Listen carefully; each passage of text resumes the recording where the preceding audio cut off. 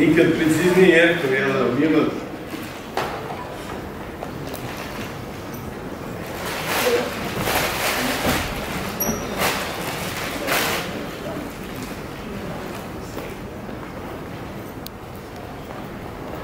Poštovane koleginici i kolege, dame i gospodu, dragi prijatelji, poštovac i kiš, i vi koje nisam uspio prošle nedelje da oteram, razviju. Danas je veliki praznik, Dan slovenske pismenosti. Dan slovenske pismenosti i Cirili metodije. Poslednjih nekoliko godina ušao je u spisak državnih praznika ovog, ako to država, oblika našeg zajedničkog postojanja. I ja se tome veoma radujem, jer je to praznik na čijim osnovama, na čijim temelju smo svi danas ovde. Živeo praznik slovenske pismenosti u ovim veoma teškim danima za Slovene i za sve građane Evrope i sveta. Neću ulaziti previše u tu temu, ali znam da mi Kiš nikad ne bi oprostio, a da ne kažem koliko nam svima mora teško padati to što se danas ljudima u takozvanoj Evropi događa. Još kad se to događa slovenskim ljudima, bez želje da to prenaglasim ili to posebno izdvojim, to deluje kao da se događa još i više vama samim u svakom trenutku.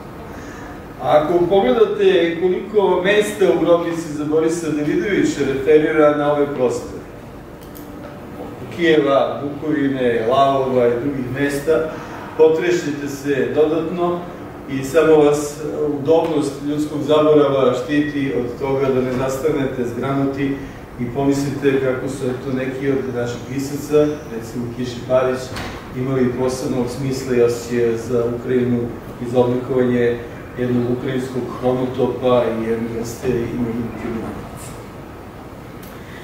Ali naša tema, ako je dopušteno biti koliko toliko profesionalan, a ne ličan i potresen, je da se sučimo sa novim trenutkom u životu, stvaralačkom životu Damila Kiša, koji nastupa onoga časa kada jedan pisac, a dozvolite da budem možda malo suviše slikovjet, a možda u potrebi izraz koji nije sasvim primeren, kada jedan pisac isprazni sve svoje vreće.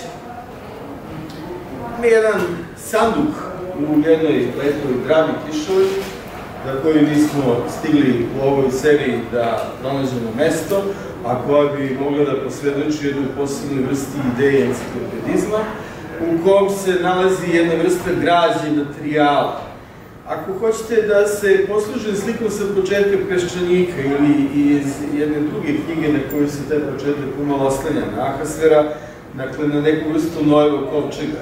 Zamislite pisa kao jednu vrstu figure, stvaralačke figure, koja sobom u život nosi neku vrstu Nojevog kovčega imaginacije sparene ideje koje bi rekao i one koje ne sme da kaže, jer do njih ne može da dođe, pa može pokušati da ih govori samo ako je nečastan pisac koji hoće da izmisli ono što se izmišljati ne sme, što se mora znati i što se mora reći tako drugima da i druge potrese snagom svog ontičkog, dakle, moći postajanja.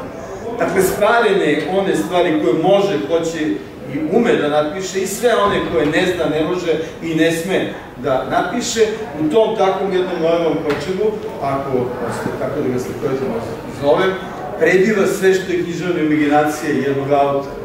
Pisac se ne rađa iz dokone volje čoveka koji lako raspoređuje reči, nego se rađa iz najdublje traume postojanja, iz tragedije sobstvenog ja, na koje ja i osuđen, nemim, brutalnim i nepriličnim činom rođenja, za koje niko nikoga ko je rođen nije upitao da li to hoće.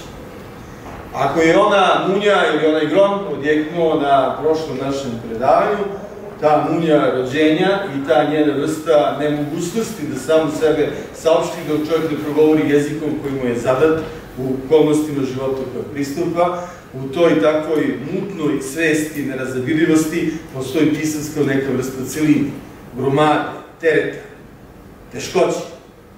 I svu muku svoga postojanja, kao subjekta koji se suočava sa samim sobom, zato smo govorili o mansarni, i kao jednog subjekta koji se suočava sa celim ovim novim kovčegom porodičnog blaga i istovremeno tereta koje treba nositi, istorio je pisac Danilo Kiš do svoje 35. 6. godine i kako je zaokružio porodični cirkus, cirkus tako je jedan stao kao od majke rođen bez evinog lista, olakih rešenja, potpuno nespreman za činjenicu da je svako književno odelo samo konfekcija. Kako obući poetički Danila Kiša u času kad više nema šta da vam pruži iz ovoga roputarijuma istorije koji mu je navaljen na pleća i iz ove nesreće koja se zove da postojiš, da si tu i da mora biti tako kako si se zatekao u svetu. Grobi se za Borisa Davidovića, zato je bljesnula u opusu Danila Kiša, ne da bi postala sada apsolutno najvrednija njegova knjiga, što ona možda i nije. U poetičkom smislu reči ne vidim da bi ona morala imati apsolutnu prednost u odnosu na peščanik, iako ja volim više, to je moj problem. A u smislu čitanja, nisam siguran da svaki čitalac Grobnicu za Borisa Davidovića čita sa većim unutrašnjim uzbuđenjem, nego bašno pepeo ili, ako je baš takav senzibilitet, mansardu u onim trenucima kad mu se mansarda izbiče i kad ne može do nje da dođe.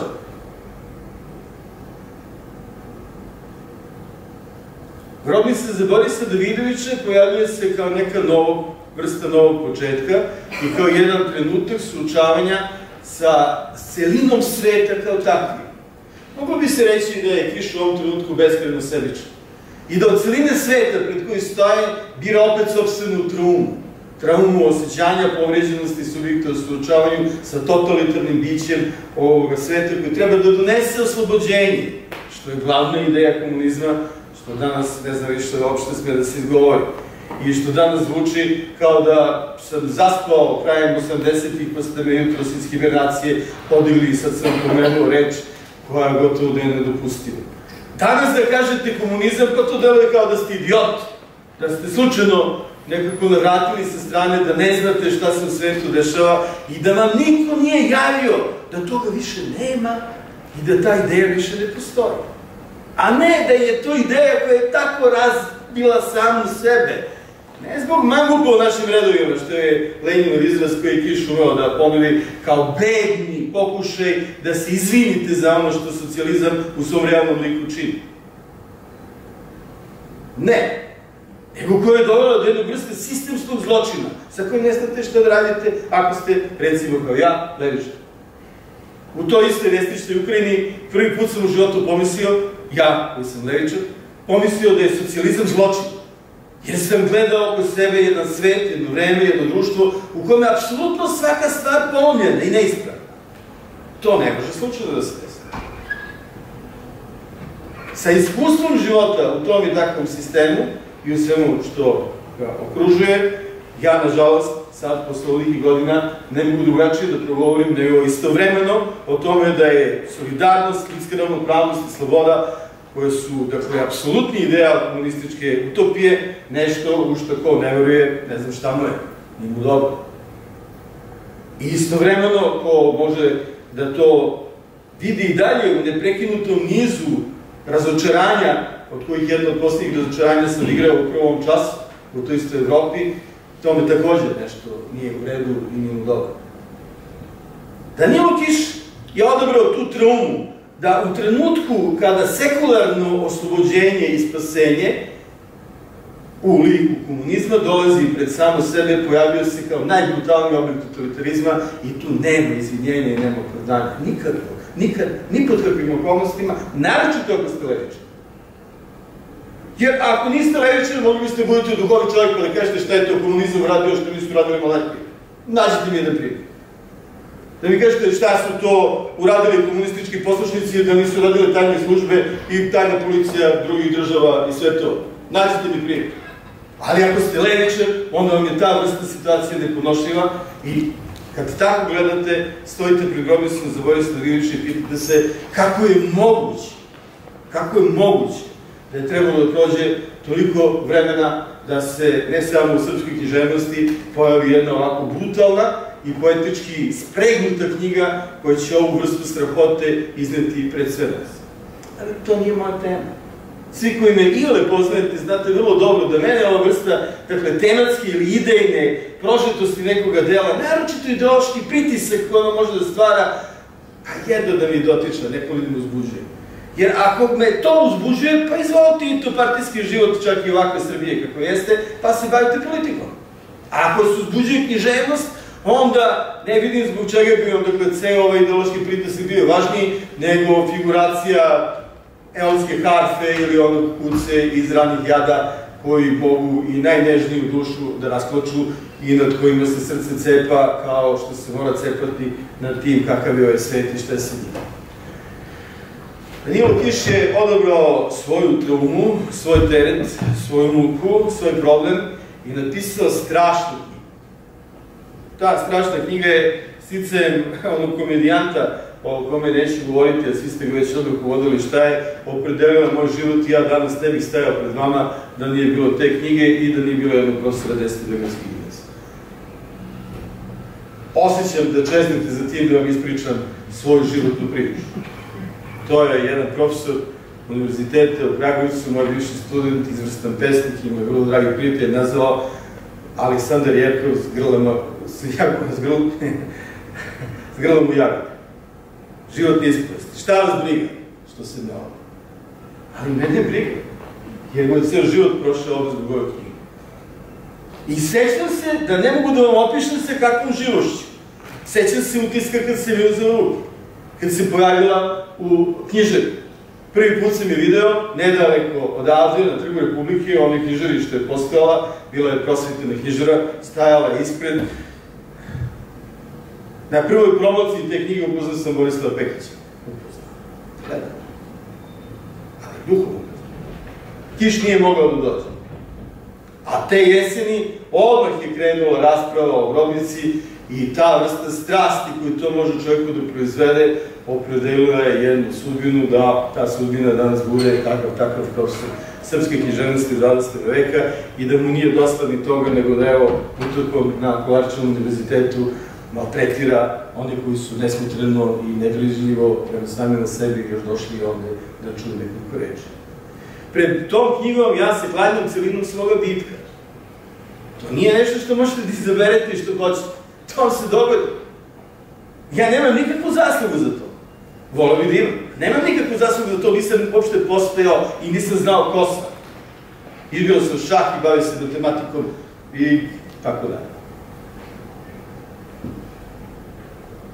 to da ste bitkom obavezani na tumačenje književnosti, trebalo mi je 40 i više godina da pronađem e, reč i da pronađem smisao, dakle kako odrediti poziciju hermenutike koja više nije arbitrarna, da tumačiš kad šta hoćeš, da možeš da studentima, kolegama, javnosti jedne kulture govoriš iz perspektive onoga što znaš ili što znaju drugi, a ti umeš da lepo kritički izložiš ili rasporediš nego da moraš govoriti o onome što te se tako brutalno mnogo tiče, da ne možeš o tome da ne govoriš. Te prema tome da prizbor predmeta tumačenja nije stvar arbitrarna, koja je napisao uh, proglas kakav ćemo naučni skup organizovati iduće nedelje ili ovog vikenda na filološkom fakultetu, nego da ne možeš da to ne učiniš, i to sam nazvao usija, dakle, tumačenje usija je biće, biti, dakle, tumačenje onoga što je najbitnije, ali ne onoga što ti možeš da izabereš kako hoćeš, nego ono što je sa samim sobom, svojim bitkom, svojim životom, svojim postojanjem izabrao. Pa, zar nisam jednako sebičan kao kiš? Sad sam ja stariji od njega i nemojte pogrešno mi razumete, znam ja šta je kiš, a šta je jedno. I ne primim tu grešku i nikada je neću napraviti. Ali sad sam ja stariji od njega i nekako mi dođe da iz te perspektive e, starosti pogledam na sve to i da sebi dozvolim ovu vrstu slobode, da govorim dakle sa nekom tako gotovo tonom koji iznutra možda ne bi se nikad usudio dok je bio živ i dok je bio tu. I kao sreće da ne smem tako da progovorim i da je danas Kiš koji je mlađi od moje majke ovde u prvoj klupi i da me gleda onako podozrivo i misli šta sad još hoćeš. Ali evo, priznajem vam otvoreno, da sam jednako sebičan jer biram ono što je moja sobstvena trauma, u ovom slučaju vrlo pozitivna. Dakle, to nije trauma, to je besek epifanije u kojoj pronađete sebe i svoju budućnost. Dakle, morao bih iz perspektive Hermenusije da branim ovu vrstu uskogrudosti sa kojom je Danilo Kiš celini sveta pretpostavio etičku dispoziciju kontroverze unutar horizonta ideje oslobođenja, epohalnog oslobođenja i totalitarizma kao apsolutne počinjenosti i poništenosti čovjeka pojedinca. Jednom reču, u ovoj knjizi je Auschwitz izašao ceo svet. Jer ono što se u Auschwitzu događa kao puka anihilacija, kao nestane, kao figura toga gde te to, totalitarizam vodi, ta i takva figura se sad odjednom proširila, gotovo kao da potvrđuje jednu misao koji je jedan takođe jevreskog porekla tumač književnosti izrekao da je u logorima pakao izašao površinu zemljene kugle. Danilo Kiš to bira da bi nam pokazao, dakle, u toj tačci, kako dolazimo, dakle, do onoga što je najteže. I uprkos tome, što mi se čini, ili laskam sebi da to danas mogu da, dobro da vidim, to meni ne znači skoro ništa. Možda znači vama, ja vam se zato izvinjavam ako moje tumačenje doseže do onome što se vas da potresi ili pogodi. Ali meni gotovo da ne znači ništa zato što da je samo to, pa ja to ne bih ni. Meni znači najviše na svetu to što je to tako napisano. I to sad ne u ovom jeftinom stilizmu, pa sad Kiš koji je vrhunski stilista i kod koga možda možete na jednom ili na dva mesta da raskrivate da li baš sad, eto, ta rečenica, ne, može, ali recimo dopuštam da na jednom ili dva mesta, ne više od tih, a na jednom spisku prigovora koji imaju jedne prilici, vrlo neprilične za moje pojmove, upućen, proveravao sam te prigovore i od 30 prigovora koliko je bilo, i za desetog sam predstavio, nijedan nije bio tačan. Kiš je vrhunski stilist. Što ne znači da ne može da pogreši. U prvom izdanju Grobice za Borisa Virovića, posle to nisam proveravao, ipak ja navijam za Kiša i volim ga, imate direktnu grešku da je prošlo između 1925. i 35. 10 godina da piše da je god, pre godinu dana ubio Hanu Šiževsku. Kako sam grešku našao i kod Meša Selimovića u, u, u Nebiši smrti i na još jedno mesto. Šta ako vam kažem da smo na tom izdanju, u izdanju koje je trebalo da bude kanonsko, pronašli 40 grešaka kad smo Ima greške. Isto greške bili priređivač Dakle, niko nije bezgrešan i ljubazno vas molim da zato što sam ja opčinjen, oduševljen i zato što volim i ne stidim se svojih ljubavi i nikad nisam nisam Da zbog toga nećemo prigovoriti tamo gde prigovor ima smisla i tamo gde prigovor ima opravdanje. Naprotiv. Naprotiv, ono što najviše volite, prema tome budite najstroži. Samo volite dalje uništiti svoju ljubav da biste sebi dokazali da ste u stanju da vidite nedostatak. Kiš je napisao knjigu koja ima nešto zbog čega ovo, o čemu smo govorili, tako prodire do dubine naših duša, da između ostalog ispunjava jedan Sartrov zahtev. A ovo sam sad cinik prema Kišu. Kao što znate, Kiš se natezao sa Sartrovom veoma i razmišljao o pojmu Sartrove angažovane književnosti i o Sartrovim tumačenjima i o Sartrove prozi, na više različitih mesta ostavio traga svojim nedumicama kako izaći na kraj sa tom i takvom vrstom dakle, literature, uključujući i jednu od onih tačaka o razlici između joge i komesara, gde bi svaki angažovani pisac zapravo bio neka vrsta komasenske figure, što dakle Kiš nikako ne bi mogao se da dopusti. Ali Sartre na jednom mestu, potpuno zanemareno u istoriji narratologije, kaže da su ideje u književnim delima mehurići od sapunice, ako nisu u samom tehničkom smislu reči ugrađeni u to delo. Ako samo knjižno delo u sebi svojim postupkom, oblikom pisanja, sudbinom označujući, to je jedna drugačija terminologija, ili narativnom strategijom, dakle, ne samo onim što je izrečeno, nego, dakle, bitkom oblika u kojem postoji sam tekst, ne postiže to, onda su to idejci koje možete da posjetite gde uglačite i možete da ih stavite gde god da se voli. Gde prema tome, po mojom mišljenju, Kiš dosiže tu vrstu ontološke obaveznosti? Otišao je najradikalnije i najdalje što se u tom trenutku i srpske, a uglavnom i svetske književnosti, početkom 70. godina, moglo u Peščaniku. I kuda ćete dalje da Mogao je posle Pešenika napisati knjigu koju niko više neće moći da razume ili pročita, ali tome ne bi pretredno originalan, zato što je Filigon obdenje već u tom trenutku staro koliko 33 godine, ili neko više. Kiš je načinio nešto za što mi dopustite da se pozovem na jednu mislilca koji je vrlo radikalno uticao na razvoj misli o filozofiji i književnosti i koji da su prilike bile drugačije bi bio i značajniji danas i pritom jednu jako tragičnu figuru koju se život ne može prepričati i to kako je završio svoj život u bolnici Svete Ane, to je toliko porazno i potresno da čak i činjenica da je Derrida dolazio kod njega kao starog prijatelja da sa njim šeta kod bolnice i da nikada nije htio da prekine tu nit, ne može da ispravi. Dakle, Louis Althusser kaže na jednom mestu da bi se otišlo dalje morate da napravite korak unazad, da ne samo da idete napred. Oni među vama koji ne vole istoriju ideja, sjetite se odmah ideje kako se razvija istorija književnosti kod ruskih formalista. Pa nasleđivanje ne ide od oca na sina, nego ide zapravo sa strica na nećaka. Znači u stranu, u, u, u nekom vrsti ugla.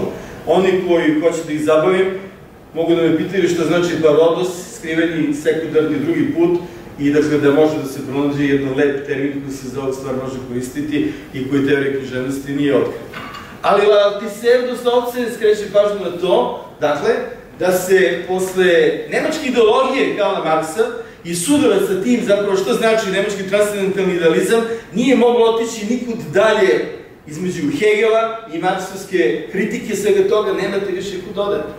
Hegelov apsolutni duh je došao do samoga sebe u ispunjenju koje još može jedno da dopusti da Šilerov stih zazvuči za nas. I više se nema otići put, tim putom. Zato se mora napraviti korak unazad, skreći pažnju od Piser, na ovu istoriju filozofske misli 19. veka, da biste mogli da pronađete dakle, novi pravac delovanja i da biste mogli da zaobiđete prepreku koju ste sami sebi izgradili. A ta prepreka se stoji u tome što ste napravili takav jedan ciklus od tri dela, koji čine, kao što svi znamo, Bašto Pepno, Rani Jani i Pešani, koji je razdešen tako i žanrovski i da čini celinu koja ne znam ni po čemu je celina, a ipak jeste, ili postaje necelovita celina, kako sam se sudio da kažem prošli put, što bi jako dobro odgovaralo nekim tokovima savremene subatomske fizike, matematike i nekog vrsti teorije neodređenosti. Dakle, kad je došao do te tačke, treba se povući korak u stranu. Taj korak u stranu, unazad, jeste da postavite sebi pitanje šta naracija kao tako jeste. Ne više šta je tekst, koji su vršti tekstovi praks, nego šta je naracija kao tako. Šta je opšte knjiženi iskaz i na čemu je on zasnovan. Da biste došli do problematike koja je naravno nerešiva, da je rešiva, rešili bi je u svom dijalogu Platon i Aristotel, to su njih dvojca već sasvim dobro jedan drugo imali da kažu. Ali u toj nerešivosti kako prebivati, u toj nerazrešivosti i pronaći neku vrstu odgovora i Kiše tu vrstu odgovora po mojom mišljenju pronašli grobnici za Borisa Davidovića na superiran način. Ne zato što su se kod njega inspiracije između Kesslera i Borgesa sudrile tako da ste dobili dakle, tematiku moskovskih procesa u okruženju jedne spregnute logičke fantastike kako pripada Borgesu. Ne, ni u tome što je Borgesova era 60. godina u Evropi taman dolazila do svog vrhunca i što je Borges došavši ponešto i iza one vrste talasa latinoameričke proze koja preplavila Evropu, postigao jedno apsolutno poštovanje i apsolutno uvažavanje. Napokon, šta je sad on tu pa toliko otkrio kad smo već Borgesa imali u svojim rukama, bilo preko hrvatskih Borgesovaca oko 1970. bilo preko popinih metamorfoza o kojima su izašli maštari. Gotovo da mi dođe da vam citiram Sjena Goldmana, danas potpuno zaboravljenog, a inače provokativnog mislioca i kritičara strukturalizma, koji kaže pa svako je mogao da pročita, svima je to stavljeno na raspolaganju, pa što nisu svi drugi pročitali. Stvari u tome što pročita onaj koji to mora da pročita i što pogodi onoga koga to mora da pogodi. Dakle, Borgesovska paradigma logički ustrojene konstruktivističke fantazije pogađa Danila Kiša, jer on u njoj, u toj vrsti logicizma, pronalazi odgovor na jednu vrstu logičke konstrukcije sveta koju vas nužnim načinom vodi do komunističke utopije kao kraja istorije, kakav Fukuyama. Ili ako baš hoćete Fukuyama. Dakle, utopija liberalnog kapitalizma kao kraja svih društveno-političkih tendencija i istraživanja. Ta logična konstrukcija da 25 vekova naše civilizacije vas vode ka nekoj vrsti istorije koja se tako razvija da vas dovodi do neke vrste oslobođenja ili primirenja sa zatečenim stanjem, pošto Fukuyama to nije baš tako prostački izrekao kao što mu se nabija na nos u našim relativno jeftinim revijama koje sve znaju o svemu i novinarima koji misle da to je mogu da sudu. Dakle, na tom mestu gde je kraj istorije, taj kraj istorije se već odigrao dakle, filozofske misli između Hegela i Koževa, i to ono Koževa koji između ostalih učio i Sartra i drugi francuski mislici, koji je bio Stalinov došli, špijun. Da ne možete da verujete svojim očima. Da takav filozofski kapacitet, kako predstavlja Kožev sa svakvim delovanjem, koje je naprosto promenio sliku, duhovnu, istorijsku sliku francuske misli i ostavio neverovatan pečat od 30. do 60. godina da taj čovek i takav mislilac je bio pritom još i Stalinov špijun. Čime hoću samo da vam ilustrujem kako strahovitim putanjima praktičnosti dolazi tačka koja zahteva jednu vrstu izazove koja vas neće ostaviti na miru. U tom novom čitanju koje Althusser projektuje na Marxov kapital i koje projektuje između ostalog tako što nam stvari i Badiou, i Ranciera, i Balivara, koji su njegovi mladi saradnici, ne Balivar, to uvršnjeg, ali ova dvojica koji su njegovi mladi saradnici u tom trenutku koji su danas zvezdi intelektualne scene Evrope. I to Althusser, koga zovu pred prosvetom francuskom se neće osuditi da mucam kako sam to naučio, ali ću to da prevedem, kao i za njega kaže Altisirije, ništa.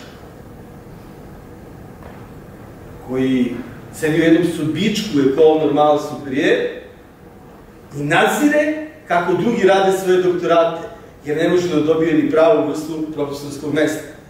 I koji buduće da je alžirac deli sobu sa drugim alžircem koji se zove moj Jean Derrida. Pa, mislim, ako hoćete da se smete, sad je trenutak da se smete a ja se ne rugam velikoj francuskoj kulturi pred kojom se tvanjam i trudim koliko mogu iz ovo malo znanja da izađem iz neznanja. U takvom ambijentu Otiser traži da napravite taj korak unazad i traži da sa novom vrstom pronicivosti, koja nije domišljatosti, koja nije jeftino poverenje, dakle istorijski procese, se sudarite sa tim problemom i traži da imate novu vrstu čitanja i traži da otvorite ovu vrstu prostora, u kojoj vrsti prostora Kiš čita onako kako niko drugi ne čita. Najzad dolazi pisac koji je čitalac, ne zato što drugi ne čitaju. Lepo smo.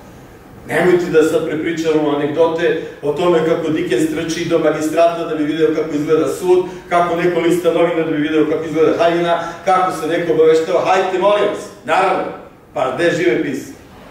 Ne samo u svojim mislima, nego i u tuđim knjigama. Pisci su čitavci, vrhunski čitavci, reinterpretatori, tumači. Nema ni jedne jedine knjige u istoriji čovčanstva koja je napisana čak ne prve. Ako mislite da lažem, imate, to sam davno citirao iz Bejta, a možda se pronaći kod Kajzera, nekog egipatskog pisara, nemam ni njegovo ime da izgovorim, ali recimo Haken Persem, koji je pisao 3000 godina pre nove ere, žali se da su sve reči upotrebljene, da nema više ničega novog, da je sve napisano, a nešto nije video Getea, Tolstoja, Puškina i Kiša, nego nije video ništa od književnosti koju mi čitamo, a već je sve napisano i potrošeno. Čitavci su pisci. A pisci su nužno čitavci. Ali kako se piše kad si čitalac? Ja to ne znam bolje od Danila Kiša na moju profesorsku sramotu. Jer je to srpskoj javnosti, našoj akademiji, ha, ja pretpostavljam da mogu biti dovoljno arrogantan da kažem da je nisam ja upropastan. Našoj akademiji otkrio Danilo Kiša, objasnivši nam šta je uz jedan lagani, divan, kratak, savršeno duhoviti tekst Mišela Foucaulta, šta je fabula biblioteka. Kiš nam je pokazao novi način pisanja tom čitanju, a to čitanje znači prihvatanje istorije, čim čitaš, čitaš ono što je bilo, ono što je bilo konstituiše lanac istorije. Kad se osnovneš na lanac istorije, ti dolaziš posle istorijskog trenutka, ti dolaziš na tom talasu istorijskog događaja, Kiš kada piše kao čitalac, Kiš je ni manje ni više, nego u poziciji da daje odgovor na dilemu koja je između Hegela i Marksa potresa Evropu 19. veka i na koju treba odgovoriti. Na koju se može odgovoriti i drugačije, Schopenhauer, Kierkegaard, kao Nietzsche, što je meni možda i mnogo bliže po senzibilitetu. Ali to su koraci u stranu, otkloni od problema. Problem istorijskog posredovanja, istorijskog hoda, problem u tome da li se u batu francuske vojske u Jeni čuje kako epohalni duh maršira. Što je citat iz Hegelovog opisa. Problem sudaranja i suočavanja s istorijom, koji problem je naravno dramatično postavljen, ni manje ni više nego francuskom revolucijom, deklaracijom o pravima čoveka, ukidanjem državnog naloga, oduzimanjem prava suverenu da to tamiči kako hoće. U času kad je taj suveren tako, oslobođen samoga sebe i te totalitarne volje. A nemojmo zaboraviti da su uh, Mirabeau i Diderot u Chateau praktično bili na dva sprata u sobama sa sličnim razlozima svog utorničenja i slično. Dakle, da, kad je taj mehanizam izvučen, kakav je hod istorije? Da li je hod istorije hod slobode? Apsolutne slobode. Koja, kao apsolutna sloboda, je trenutak apsolutno kreativnog ispunjenja svakog čoveka. Kad Kiš piše kao čitalac, kad piš, Kiš piše kao čitalac koji zna da je čitalac, Pa je otuda istraživač sobstvenog čitanja. Kada Kiš mistifikuje to istraživanje, kada izmišlja zato što navodno ima pred sobom dokument, izvor, a nekad ima, nekad ne. Pa go pronađete isto novine. Da živimo u Francuskoj, gde ne živimo, to bi već bolji akademici od nas raščitali, raspetljali i vi biste danas imali kompletne anotirane beleške šta je stvarno gde bilo, a gde nije imali biste u Plejadama jedno izdanje koje kad uzmete, znate što čitate. E, mi ćemo to možda imati 2278. godine, a možda i nešto malo ranije. Mislim, sasvim da ako budemo ulagali uvek 0,6% u kulturu, hoćemo i baš stići do te godine, ali nemojte biti nestrpljivi. 72. godine kad izašao peščanik, počeli su da zidaju, da kopaju Beogradski metro. Ja danas već znam da nikad u životu se neće prolaziti Beogradski metrom, a da on siđe pod zemlju i da ide negde, ja se vozim, Bukov, ovaj... Živio, naravno. Tako je i u ovoj stvari do 2276. možda će neki daleki potomak koji bude tada čitao Kiša sa budučkim uzbuđenjem, prikucuti neko dugmence na onoj artificial intelligence mašini koja će onda da znajući sve tekstove svuda iz lista, sve semantička povezivanja koje se mogu pojaviti i da kaže, evo, jako žele se živo, ne živo, ti ovako nisi otkrio ništa, evo to ti sve piše gde postoji šta u kome tekstu. Ali ono što ja evo sebi laskam, da mogu da kažem, to je pozicija pise koji je istraživač i koji bi sad mogao da vam opisujem, od antičkih e, beležaka, od antičkog romana do pronađenog rukopisa koji je jedna vrsta od figure koja obeležava razvoj romana od Don Quixota do Sterna, od Vilanda do pisaca 19. veka, u trenutku velikog uspona romana 18. veka u Britaniji, svaki od pisaca je iskoristio po neki od ovih elemenata, dakle takve vrste mistifikacijske tehnike i ona pripada graničnim periodima istorije književnosti, nije ih mislio postmodernizam. A još manje Jerko. Ali možda Jerko izmislio postmodernizam. Dakle, to su dakle, tehnike pisanja koje su bile na raspolaganju i koje su odavno iskorištene, koje sa ovakvom vrstom stava od Danila Kiša dobijaju još jednu novu dubinu koja dakle zahvata u vrstu istoričnosti svemu tomu. Mi se ne možemo nadmetati, poštovani koleginici i kolege, učitelji. Ne zato što će neko biti bolje, ne, uvek će neko biti bolje. Neko će primeniti i na kojim se sve mestima u grobnici za Borisa Davidovića pojavlja smrad. I možda će jednog dana napisati, to sam tražio kao nešto najblesavije što se može napraviti, i možda će napisati jednu malu studiju dakle, o prirodi smrada, kao jednoj diskretnom nagoveštaju, dakle, olfaktorne reakcije na svet koji nas tamo okružuje. Neko će, možda izbog toga što je recimo kao ja, u lepoti Vojvodine video hmelj. Video kako se hmelj bere, kako se prikuplja, slad voleo da fantazira o pčelaru, a mnogo kasnije tamo otišao da vidi kako izgledaju pčelaše pivnice i prespomene, neko će možda znati šta znači taj miris hmelja i slada i koji se pojavljaju na dva mesta na dva različita načina. To su profesorski štosevi, gledao sam ih celog života, da bereš neki apsolutno minimalni detalj koji naravno da niko drugi nije primetio, onda pustiš publiku, a onda sa nekom vrstom nonšalanci kažeš, a vidite na strani dodate, to je, nalazi se jedan, ne, taj, taj, taj, i onda svi kažu, wow, ovaj zna na pamet, sve, nema greške, ili ako ste duhoviti, kao što je bio jedan drugi profesor, vi naučite tačno gde se nalaze citate, ne lepite žute listiće, ili nosite papir na kojem pišu brojevi strana, to se lako pamti svako možda zapamti, onda nosiš knjigu i kažete, mislim da um, otvorite knjigu na toj strani, evo, o novom mestu. Su profesorski štosevi, delići jednog zanata. Ja poštojem taj zanat jer on pokazuje neku vrstu truda i preziraju ga iznad duše zato što mi deluje veštački. Da, jesam u jednom trutku mislio da znam napamet celu knjigu. Do duše, da sam hteo, tad kad sam je prvi put čitao u gimnaziji, znao bih i napamet, tako mi je bila memorija u ono dobu. Onda sam se trudio da zaboravim, nadajući se da će doći jedan dan da se ponovo susretnem sa njom. U tom i takvoj fenomenologiji čitanja ostavio sam sebi ovo prostor za to da vas zabavim tako nekim detaljem za koji možete biti da znate, a može biti da ne znate, kao što možda znate da praktično na kraju svake priče postoji po neka specifična bolest, ne samo na kraju dermolato. Da, naš je taj elefantidazis impresionirao i ostavio trag, zato što Srbi kad dođe nešto kažu, kažu imaš, pa već šta god imaš. Ali taj elefantizijazis je zapravo samo poslednji stepenik u gradaciji bolesti od nedostatka vitamina a, a, B na početku ove knjige do kraja.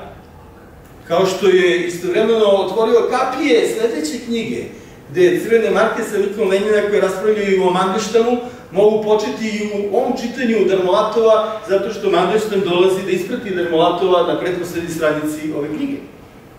Pa biste mogli da kažete kako je Danilo Kiš svim tumačima književnosti podlutnuo i tu mogućnost da je priroda kritičkog teksta, a taj tekst u Drmolatovu napisan kao neka vrsta narativne kritike, da je priroda kritičkog teksta uključena u samu naraciju. Pa ja sam deset godina života proveo fantazirajući tome kako se kritika može pripovedati, a ne da budete ovako jeftini, pa da pričate pričice, pa da dodajete nazive boja, senki, da li duva vetar, da li ste kroz prozor videli neku krošku drveta, da li ste se družili sa nekim junakom knjižnog dela. Ma nemoj, molim, ajde pročiti knjigu. A pustite tu fantazmagoriju o druženju sa tim junakom. I kako bi lepo bilo, ili kakav je neki, to sve ja persifliram neki od srpskih kritičara, kojima neću pomenuti ime. Možeš ti da napišeš saznanje kao takvu pripovednom obliku da to pripovedanje poetike, kako je to opet jedan francuski profesor nazvao, Jean-Yves Tadier, veliki stručnjak za da to pripovedanje tehnike ili pripove, poetički pripovedni tekst, da to donese samo biće književnosti, koje nije znanje o tom biću, nego je ono što to biće zna samo o sebi, što je takođe jedna fantazmagorija iz jedne knjige Poetics in Disguise, jednog italijaniste i iz vrhunskog profesora američkog. Kiš piše o književnosti, tako što u prirodi sobstvenog postupka u kojem, dakle, analizira mogućnost čitanja, suočavanja sa izvorima, pisanja u biblioteci na temelju izvora, pokazuje zapravo što znači suočiti se sa istorijom i kako istoriju oceniti. Sa druge strane, Kiš to piše tako, što ono što su autopoetički horizonti njegove knjige se istovremeno suočavaju sa dakle, kritičkim diskursom koji prodire u samu knjigu i u to i takvoj vrsti dijaloga piše jedan kriptonovelistički, kriptoromaneskni tekst u kojem, ako ste strpljivi, možete kao kod Bazaka ili kod nekog drugog takvog autora da pronađete gde se pojavlja neki motiv, gde se pojavlja neki junak, a gde pređe u sledeću priču, pa šta on radi, pa šta se drugim čini, i da tvrdite kako je sedam povest, sedam uh, zajedničkih povesti, zapravo jedna vrsta kriptoromana. Šta smo rekli za Tušana? Da je to roman koji je pronašao obliku u kojem ne može biti roman. A jeste. E onda sad ovoj situaciji, gde, dakle, nećemo sada to još više radikalizujemo, znaš što sam već ukazao, čini mi se, nego hoćemo da pokažemo ponovo jedan roman koji ima u sebi romanesnost, ne zato što hoće da ima žal romana, šta će mu to baš, koga briga za žal romana? Šta više, ako pažljivo pogledate istoriju, dakle, razmišljanje o romanu u 20. veku, vidi se da je roman zapravo oblik diskursa kao tako. I kad kaže Bakhtin da je roman takav, dakle, žanr koji može u sebe da primi sve druge žanrove, on doslovce zapravo kaže da je to zapravo oblik diskursa u kojem su moguće svi tekstovi. Mogli biste sve tekstove ovog sveta da strpate u njega da ga vidite kao roman, a mogli biste i fenomenologiju duha da čitate kao roman, to je već Blohu pošlo za rukom, a već se našao neko i da pročita Blohov princip nada kao da je roman, a onda je Jean-Luc Nancy pronašao to da je kod Descartes gde se rađa na vekovna filozofija zapravo to roman. On sedi na jarići kožici uz vatricu koja kucketa i brine se o tome, postoji dakle veliki demon koji možda izaziva takvu vrstu zabune da ga zbuni svom tome. Pa šta je to ako to nije priča? Autofikcija, ispovest, što ga hoćete, romančić, novela, istorija filozofije od 17. veka do 21. veka osniva se prema tome na naraciju i to na naraciju dijaloškog tipa kod Sokrata, koji je, kao što znate, uh, hteo da bude dramski pisac kao i Platon, pa onda počeo da koji izvodi svoje vežbe kod Platona na njegov narativ o pećini, koji je, dakle, jedna slika kako da predočite sebi ideje i tako dalje i tako dalje, po Aristotelovim stihovima neću vas ovaj put zamarati, to sam relativno nedavno i sam tek počeo da učem. Sva je filozofija, ako malo bolje razmislite, književnost, pa zašto onda književnost ne bi bila viša od filozofije, dopustite mi da ni manje ni više ispravim Aristotela. To je meni lako, to je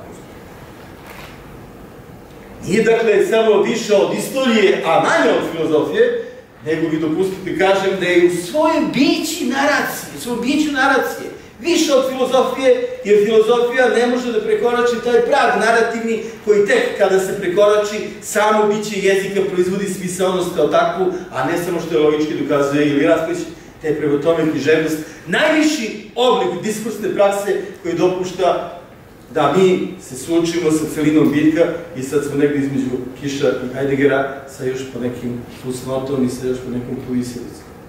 I to je biće ovoga teksta. Probim se za Borisa Davidovića, koji ima inherentnu strukturu rasprave, neku vrstu diskursa o, ali ne metodu, nego naracija, priča, koji ima, dakle, unutrašnju strukturu diskursa kao tako, i koja, dakle, svoju diskursnost više ne mora čak ni da ospoljava, kao što je ospoljava peščanik, dajući vam diskursne prakse jedne pred drugima. Beraške do ludaka, slike se putovanje, istražni postupak, ispitivanje svedoka, dakle, dajući vam signali diskursnih praksi. Probim se da Borisa Davidovića, ovo sada više od hegelijanskog nadilaženja, pronalazi mogućnost da ne mora ni da vam pokaže svoje diskursno biće, svoju diskursnu prirodu, nego da učini da ona deluje na vas i da budete njome obuzeti i da istoriju ne razumete kao ideološku raspravu, ovo je bilo pogrešno, pa ćemo sve to da ispravimo. Nego tragediju istorije vidite kao trenutak u kojem se onaj subjekt koji se sočio sa sobom, u Mansardi, onaj subjekt koji se sočio sa svojom porodicom, društvom i iskustvom koje je ponao ovaj svet u porodičnom ciklusu ili cirkusu, da taj subjekt se sad suočio sa celinom istorije kao takve i promaša njenu najslabiju tačku da vam obećava spasenje koje ukida ili koje ne daje. To je više nego sad se vama raspravljam da li je piši to Normana Berija ili da li je prepisao ovde, pa to je zapravo bit same literature. I koja se može ponavljati iz dela u delo, ali se ne može ponavljati na ovaj način. Kiš je 76. to je naravno svima danas jasno, ostavio takav utisak da više niko nije bio spokojan. I bio spokojan moj budući profesor književnosti koji me doveo na filološki fakultet zato što je mislio da kada udar na leninizam i stalinizam mora da se razdvoji. Pa, ostanimo, dobro, to još i možemo, ali Lenina, Lenina nećemo kritikovati. Nije mogao dakle, da ostavi na miru srpske pise koji su taman pomislili da se pronašla neka vrsta pakta između dva poetička modela i da kad smo sada evo, nagradili Pekića i Kiša, da gradit ćemo tih godina još po nekoga. Napokon vratili smo 75. i Bulatović jednu nagradu što mu je šest godina pre toga e, nisu dali u redu. I da ćemo sad napraviti neku vrstu paktovne napadovne, onda dolazi jedna knjiga koja menja sliku srpske literature. I to mogu da vam posvedočim iz prve ruke. I to treba da bude poznato. U naredne dve godine, kakav je to bio plamen? kako je to gorelo na sve strane. Pa to se nije ponovilo. Ja mislim, sa tim se mogu porediti samo dve stvari, sad smo već došli do časa anatomije. Samo dve stvari. Jedno. Naravno, rasprava o srpskom jeziku, bitka za srpski jezik, dakle, za Vukovu reformu sredina 19. godina, 19. veka, naravno, naravno, naravno. Ali u savremenoj književnosti nema se sa tim šta uporediti osim, dakle, Kostićeve knjige o zmaju i, dakle, te, kako kažemo, samoubilačke tragedije genija koji je došao da proslavi veliku godišnicu svog pobratima i ponao jednu zbirčicu, pa nije znao dakle šta da pročita, pa je nešto čitao, pa nešto nije ni rekao, bar tako su ga opisali u izveštajima koje toga stoje, da ne verujete. A stvari se mukom mučio i tačno mogu da ga zamislim kako nešto pokušao da govori, a da baš ne kaže to što je hteo da kaže, a da to bude poražavajuće, onda mora da to na kraju napiše. I onda kad to napiše, ide na sprovodu Sive Matavulja, ta scena me nikad ne ostavlja mirna, ide Mator Orono sa kosom kojom u vjori na vetru, sam sam u pogrebnoj povorci. To je život u Srbiji. I naravno, Vinaverov knjiga o Kostiću, koje je prosto jedno remek delo polemičkog umeća i veličanstvenog saznanja književnosti. I treći takav veličanstven trenutak u istoriji književnosti, ne samo 20. veka, je čas anatomije, za koji ni pošto neću reći da je besprekoran, naprotiv, da se ne može kritikovati, naprotiv, da je pravičan, naprotiv, ali koji je fantastična književno-kritička knjiga, bolja studija o književnosti 20. veka nije do tog trenutka napisana u srpskoj kulturi. Tačno. Kiš je takav utisak proizveo da je uspeo, što ne treba nikome da pođe za rukom, da u spletu svih tih polemika pobije sve svoje protivnike i samog sebe. Lanac smrti, krajem 80. Pa to izgleda gore nego kad čitate Skerlićevu istoriju književnosti i tome kako su pevala groblja i kako su umirali srpski pisi prethodne generacije na prelazu iz 19. u 20. Jedan za drugim ne puštali su na svoju granu. Ima nečeg u tome i neću sad to da mistifikujem Ima i takvih koincidencija u istoriji, ne znam ja. Ali kao da je u jednom trenutku srpska kultura, u najširem smislu reči onoga vremena, se sudrila sa samom sobom i sa obrstom izazova i da je došlo do takvog jednog strahovitog valinčenja iz kog se moglo otići uz 89. i kišao napuštanje uz pad Berlinskog zida u jednu vrstu svetle budućnosti, simboličke nadmoći i realizacije ili u ovo jezivo potonuće čiji sam tužni svedok i u kojem se nemoćni saočestvo. Kad bih hteo da mistifikujem Kiša, ni pošto kao njegovi pronosirani prijatelji koji su naredni 30 godina uvijek znali šta je Kiš mislio i šta bi Kiš rekao. Fantastično.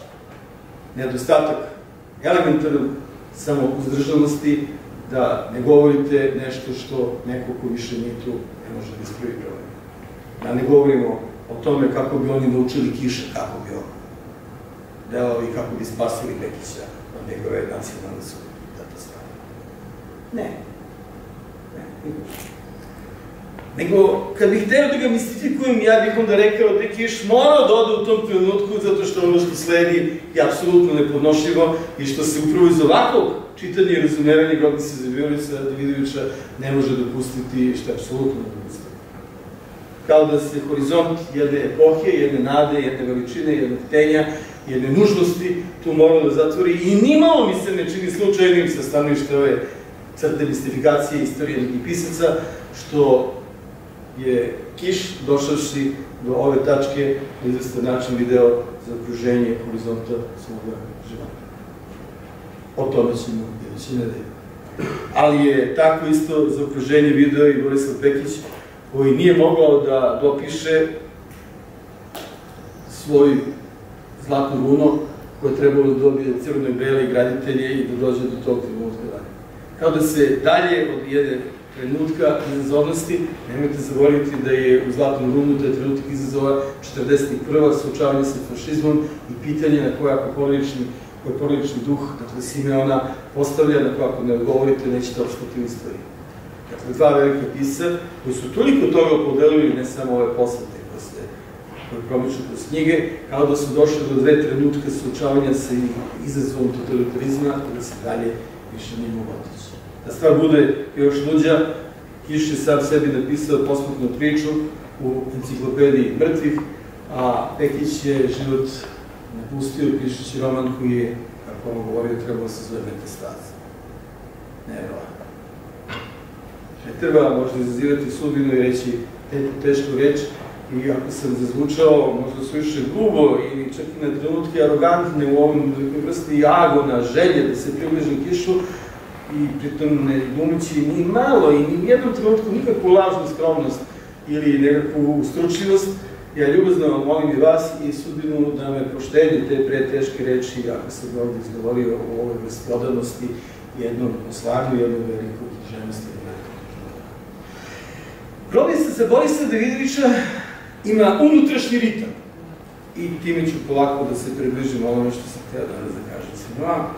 Ima jedan unutrašnji ritam u kojem lagano prolazi kroz antologijske priče, gotovo da mislim da nema ni jedan tekst u njoj koji nema antologijski karakter naše književnosti.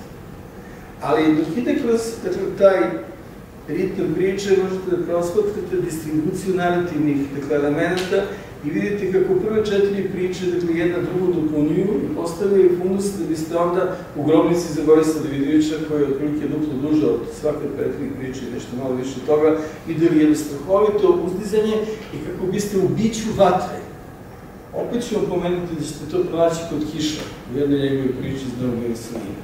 U biću vatre i u tom novskom koji se predaje tom biću vatre pronašli dakle, jednu vrstu apsolutne kulminacije tačke u kojoj ste došli do vrhunca.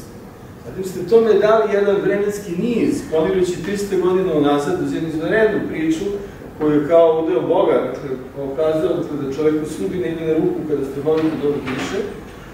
Dakle, da biste u priču Davide Baruhu Neumanu dakle, dobili raspad od 300 godina kod govora milenijarističkoj imaginaciji srpske literature i koje, dakle, Hiša pripisuje ovom nizu pisaca gde su Andrić, Crnjanski, i, uh, i Pekić i još po neki Pavić, autori, dakle, dajemo jednu vrstu milenijarističke predežnosti, dakle, da biće vremena. I onda, do, i onda dobijete ovog Dermoatova, koji, ne znate šta s njim poradite. Koji deo je toliko usmeren na lik pisa, na lik književnika, da vam nije sasvim jasno kako, dakle, da u ovom velikom naporu, dakle, suočavanje sa istorijskim problemom pisanja, sa problemom pisanja u istoriji kao onom što treba da bude i da istek neku epohalnu moć, šta u svemu tomu onda čini ovaj jedan trivialni a, sudrug i saputnik jednog totalitarnog sistema. Jedan uspešan čovjek jednog da se na to pitanje odgovori, bit će nam potrebno da odemo još jedan korak dalje iduće nedelje. Ali da opišemo ovu vrstu ritma koji obuhvata celinu grobnice za Borisa Davidovića i koji istovremeno ostavlja otvoren prostor da enciklopediju mrtvi da bi ideja pisa kao čitavca koji istražuje u biblioteci, u modelu enciklopedizma, između njegovih poetika i između enciklopedije mrtvih mogla da se ostvari, dobije obličnost, da bude izgovorena direktno, u tom i takvom, dakle, jednom hodu dobijate Darmolatova, koji, Darmolatov deluje zapravo kao jedna vrsta trivialnog odgovora na dilemu o sudbini francuskih revolucionara koji se pojavljuju kao podloga nekih odlikova u prethodnim pričama. Grobnica za Borisa Davidovića, a i ideja Kenotafa koja se u toj priči pojavljuje, stoji pred nama, dakle, kao jedna nova slika. Tamo gde je bio onaj saduk Tomasa Wolfa, tamo gde je bio onaj Nojev kovčeg i barka, tamo gde su se dakle, nalazili ovi modaliteti koji su se mogli davati različiti tekstovi, koji se mogli pronaći sve što je istorija, uspomena moje porodice, sad na kraju dolazite do jedne slike koja je grobnica. Sa grobnicom za Borisa Davidovića, Danilo Kiš u figuri grobnice, pronalazi dakle, onu tačku u kojoj se dakle, istorija, smisla istorije suočava sa samim sobom. Nema više subjekta izvan sebe suočenog sa samim sobom, Nema više porodičnog čoveka u porodičnom ciklusu ili cirkusu, koji traga za svojim uspomenama, za svojim detinstvom, za svojim slikom, koji nema više onoga koji je pronašao figuru pisa. Jer nemojte zaboraviti taj detaljčić. I zato vas stavno navodim na ovdje moto. Pašta Pepeo završava onoga časa kad on napiše pesmu, kad je on pisac. Peščanik je roman u kojem se piše Peščanik. U Masardi je on već figura pisa. Sa, sa takvih visina poetičkog suđavanja dolazite do ove detronizovane figure pisa u Drmatovu i pitate se, nije li Kiš na kraju morao i samome sebi, i otud hoću da vidim njegovu veličinu, i samome sebi kao pisu da istovremeno doda dve različite dimenzije. Jednu gde je zapisao figura grobnice i sočavanje s istorijom celinom i druga gde je zapravo figura pisca sama po sebi nezaštićena od toga da bude trivialni ukras tih i takvih društva o on piše. Ja neću da tvrdim da je ovo oblik samoupozorenja. Naprotiv, iz samog teksta sledi da je to jedna brutalna pljuska udarena, jedna šamar javnosti и собственим опонентima и мрзители. Хаудо напред знаш да значи ќе се десети, што основам и следи из нека друга два текста кој е написал синхронно с граница за си психиге и така дали, и така дали. Да, ами ali hoću и dalje i naprežem se da izađem na kraj sa samim sobom, da odgovorim na pitanje kako to da mi Dermoatov nije odvratan. Jeste grotesno. I trivialan. A zašto mi nije odvratan? Jer gledajte u kom registru ja vidim sudbinu pisa. Sudbinu književnosti kao onoga što nadilazi da je horizont ukupne filozofije zapadne Evrope i našeg sveta. Pisce kao onoga koji dakle, je ovlašćen i mora da progovori o tome, mora da progovori o tome, čovjek neće, zato što je to priroda same imaginacije takva, o tome šta je istorija čoveka i šta je čovek kao takav, u antičkom smislu reči. Pa ja ne znam, od toga se više ne može reći, može se to reći bolje od mene, može se reći filozofski obrazovanije ili se više znanja, ali ne može se otići kao zamisla dalje od toga što sam došla. Iz te perspektive Dermotov deluje kao jedna vrsta persiflaže, jedna vrsta parodije ili ironije, ili nečega što nas pre podsjeća dakle, na horizont, dakle onoga iz psalama i e, čitanja Ničeja, koje tamo deluje krajnje trivialno, nego što može da stane na kraj ovakvog jednog puta, gde ste došli do toga da progovorite o Novstu, da progovorite o Neumanu, o novom čoveku u celini njegovog istorijskog postojanja, i onda kad je trebalo da stanete, da ostanete u tragičkoj katarsi, vi tome dodate, vi tome dodate možda nešto kao baš u Ampici, gde napravite tragičku trilogiju u kojoj se težina i teret mitosa u patosu tragičkog događaja dovedu do vrhunca, da biste posle toga projektovali jednu satirsku igru ili dakle da biste čoveku pružili jedan bočni izlaz, jedan parodos, dakle jedno smicanje, jedan korak u stranu, dakle ne više korak samo unazad, nego korak u stranu, da biste moglo dalje pisati, misliti, činiti. Ili je Darmolatov, nešto što ja iz pretredne ljubavi za kiša ne mogu više pravilno da ocenim, ili u pisanju o Darmolatovu postoji ovaj element znanja o književnosti koji se može dodati tragičkom vidu suočavanja pisca sa celinom istorije kao obavezom kojom je postavljena, u kom slučaju je Danilo Kiš pravi naslednik i potomak one situacije koje smo upamtili iz fantastične Kafkine parabole o smrti Don Quixota i o Sancho Pansi, koji ne znajući više šta, posle smrti svog gospodara, uzima peru u ruke i počne da piše. Kad sam kao dečak u 10. Beogradskoj gimnaziji poslat u biblioteku, nisu više znali šta sa mnom rade, ali mi je Petar Pjanović, da me već nekako pacifikuje, dao jedan spisak knjiga, na tom spisku knjiga nalazila se između ostalih i ideje i priča Minila Solara. Ne mnogo posle toga pročitao Solara tekst Smrti Sancho Panse u času kad se nisam sećao, čita se kako pre toga, se nisam sećao te parabole u kojoj on detaljno razlaže ovu vrstu figure. Danas mi se čini kako je u, književnosti možete imati ta dva osnovna modaliteta. Ili ste sin Don Quixotov, a znaju svi među vama na koga ovde rađam, na što mislim, ili ste potomak Sancho Panse, A ako ste potomak Sanče Panse, onda ste u najboljim slučaju kao Remolat.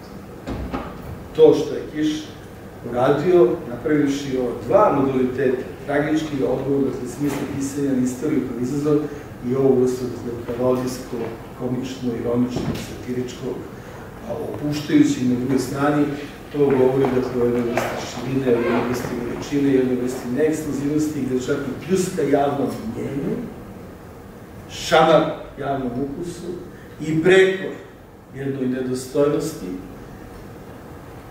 gde je čak jedna brutalnost tog elefantijaziste koja mi nikad nije bila ugodna napraviti. Jeste ona u grotesnosti svoje nekako, ali svaka veličina. Ali da ste mene pitali i da sam nekada bio, ja sam nikad ne bih lako pomirio sa tom poslednjom rečenicom da zapisanje nije dovoljno imati. Jeste to što nije dovoljno. Mom osjećanju prirođenog sluha, ja sam dao bebijski dečak i nema nikakvih problema da psujem da se zezam kako hoćete. Ali imam sluhu književnosti, to pare uši kao i one završete Pavićevog romana, gde Ljuljaj i idi, pa me moj stari profesor pitao kako vi ovo razumete šta ovo kaže. A mi se čini da negde neka vrsta takvog bezobrazluka pruža posebnu nadu u pisu, dakle da oseti ne samo teret svoje sudbine, već i to da može da na trenutak zbaci taj teret. Makar i u času kada drugima kaže pa vi niste nikoliko ja. Ja nisam to sve što se mora i može biti u književnosti, ali hoću to da bude. Ali vi, pa vi niste ni koliko sam ja. To je opasno trenutak. To je istovremeno opasno trenutak za svakog tumača da oslanjene veličine jednog dela ne upadne u sobstvenu aroganciju i oholost, da ga taština ne ponese toliko da veruje da je nešto u knjizima, kako ta knjiga opredelila i odlučila njegovom životu stvarno razume. Ja vam sad izvinjam. I još manje tražim oprost od vas za sve ono što nisam razumio, to ne tražim nije od koga, pa ni samog sebe.